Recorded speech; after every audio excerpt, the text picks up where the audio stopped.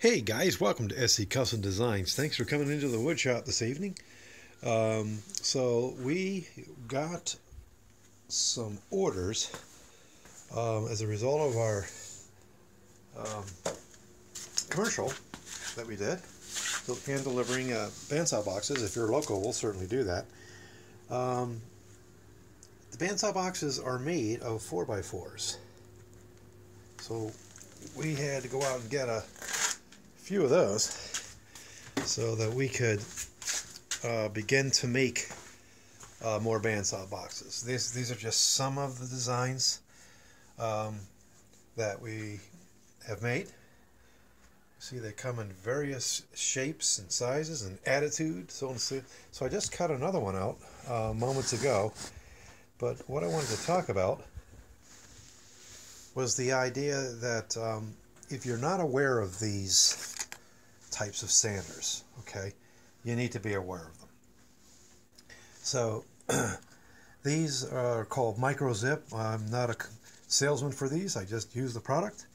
Um, so essentially, um, you have the ability of velcroing just like that. Uh, the sandpaper. So I have 80 grit, uh, 120 grit, and 220 grit. And um, as you can see, um, I was just using one of them, and I and I bought various uh, grits. So I just decided today, while I was out getting the 4x4s, I would have a station set up with these three grits on them.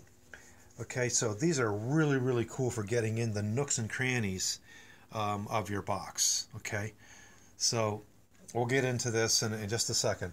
Then you have this type of guy, same company, that has this shape. Again, this is very soft to hold, and uh, you can bend it like so and get into those nooks and crannies. Um, then you have a flat one, again with the 80, uh, 120, 220 uh, grits. Then you have this here. Um, I tend to put on the 400 grit, uh, 220, 400 grit on this. And uh, we have this sandpaper here, which is like a poly on a poly. And that's really great for grabbing with two hands and going around the corners. Um, that is when you've got the, the box uh, all shaped and ready to go. This is in its rough. So we just, I mean, just cut this guy out. Um, there's the middle of the, the 4x4 there that was left over. We just cut it out on the bandsaw. So what you have is you have a back, this, all right, and so the, then you have the drawer like this. Okay, so the tip I have for you is you definitely want to sand the insides of the box before you glue it up. Okay, so I'm gonna sand. I started sanding this here. Um, I'm gonna want to sand the inside here. Imagine if you would once you get this glued up. Okay, how it's going to be kind of hard to sand in there. So you know you've got uh, this guy over here that you could use to sand on the inside. Um, and then you, when you want to shape, you can come over to this sander and you can do amazing things. And what we're going to be doing with this particular unit is we'll be sanding away here, shaping away this. So this is going to go in. Uh, this is going to go in, so eat, eat away at that. And it gives a really nice effect where the drawer is going to look like it's sticking out. Okay, so that's just a lot of fun. So we'll be uh, sanding and gluing up this tonight. Um, and we'll be sanding the insides of this and gluing this up tonight. So what I do is I just basically trace uh, this here, which is the main drawer, so I can sand just here.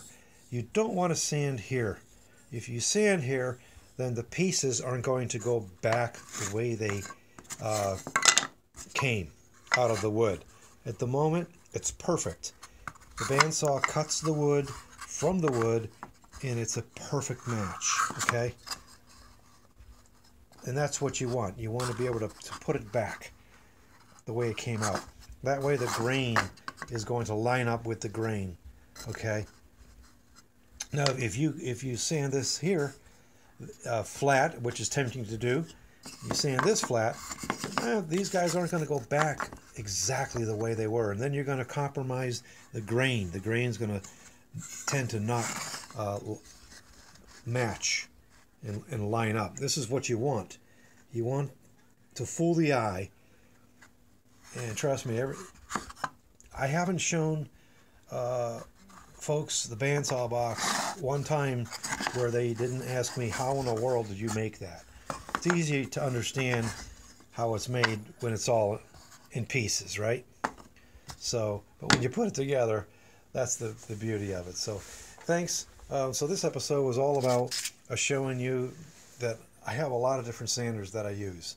Okay, naturally I'm going to use these guys first to do the shaping, and then we'll go from the 80 to the 120 to the 220 in, with the various styles. Okay, I hope you found this uh, helpful. Please, if you like what you see, subscribe to our channel. We'd really appreciate that. And remember to click the bell. Uh, once you click the bell, then you'll be reminded of our videos. Uh, when we come out with them, you'll get a reminder. So that'll be cool. Thanks for watching. Thanks for coming into the shop. And uh, we're going to go ahead and get busy here and crank out the customer requests. Thank you, customers.